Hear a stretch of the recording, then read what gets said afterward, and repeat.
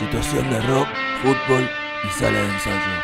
Hola, soy Pedro y no te olvides de suscribirte al canal. Muchas gracias. Hola Leo, quiero que me hables acerca del ego que tenemos los artistas. ¿Es cierto que tenemos ego o es pura mentirilla? por nuestro ser desde adentro para afuera y desde adentro también. Y a veces este, no, hay que, no hay que dejar que domine por completo.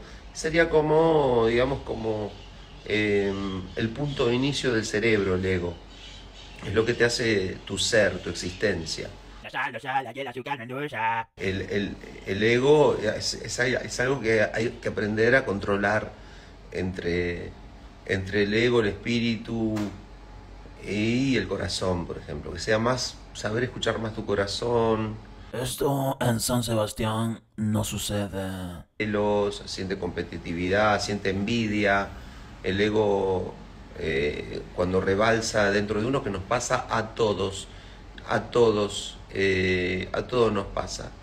Em, es, es, es, como el aprendizaje de cada uno, qué sé yo y nadie es perfecto, nadie lo domina un 100%. Pero bueno, si sabes cómo dominarlo, te puede ir muy bien, porque puedes como no hacer que te vuelvas torpe, por ejemplo, torpe a la hora de decir algo o a la hora de no decir, saber bien. El dominio del ego es clave, por, eso, por ejemplo, en los signos eh, astrológicos, Leo, por ejemplo, yo no soy de Leo, yo soy de Virgo, pero Leo es el signo que, más representa es al ego.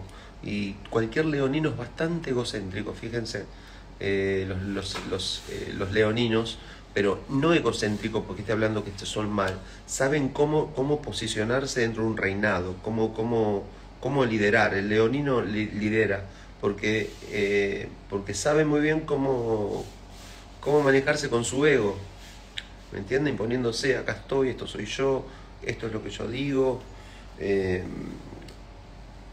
lo saben manejar mejor. Esto en San Sebastián no sucede. Después, eh,